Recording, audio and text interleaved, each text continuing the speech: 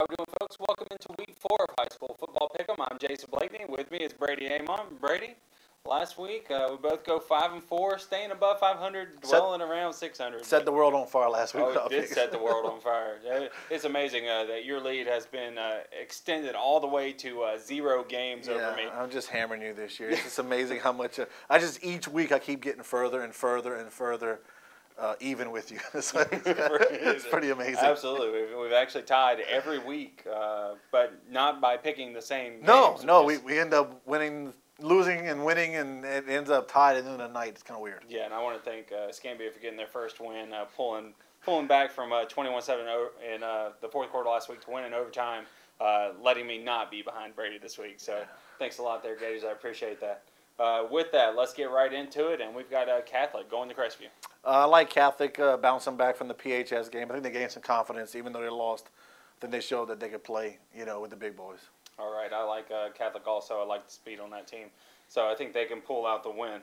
Uh, Gulf Breeze traveling uh, east, going to Panama City Arnold. Yeah, tough game to, to kind of handicap because, uh, you know, if you go by history, you kind of feel like Arnold has, you know, the, the upper hand in this one, but Gulf Breeze has played well. I'm going to go ahead and stay with Arnold just because they're playing at home, and I think they just kind of have a couple big playmakers to be the difference in this game. I'm going to take Gulf Breeze. Uh, you know, they proved me right the last time they went east, and uh, so I'm going to stick with them. Maybe they'll bring back another 55 nothing win for me and uh, make you look ridiculous twice in one year. West Florida also going over to Panama City, taking on Bay. I'm going to go with West Florida. They've been good for me this year, 3 and 0 with them, so I'm going to stick with them for one more week at least. I'll take West Florida also. I don't uh, think Bay has the horses to keep up with uh, Jalen Jones, Kyle Faxlinger, and the rest of that offense.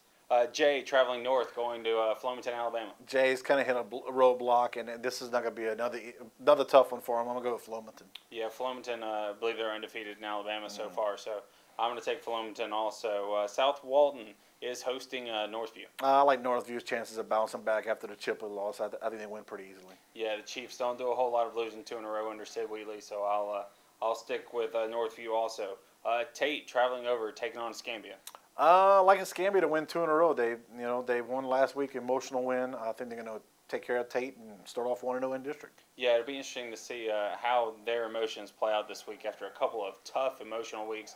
Uh, death of a former player two weeks ago. You have a guy in the, in the closing minutes get taken off on a stretcher last week. Uh, see how their emotions are. And uh, but I do like uh, Escambia also. I'm going to take them. Uh, Milton travels over to take on PHS. Uh, I'm going to go with PHS. I think Milton has a great defense. Their offense just hasn't come around. I think PHS takes this one. Yeah, I like PHS also. Uh, until uh, Milton shows me they can consistently uh, put some points on the board, uh, I like it to be close though. I, I do think that Milton defense is legitimate. They haven't uh, haven't given up a whole lot of points this year, so I think they can hang tight. But I am going to go with PHS. Uh, Niceville, they are traveling to Navarre. Uh, it's a tough one. You know, not, you know, it's it's amazing. Niceville could be one and two right now, but they're two and one. Navarre could be two and one, but they're one and two. It's a district game.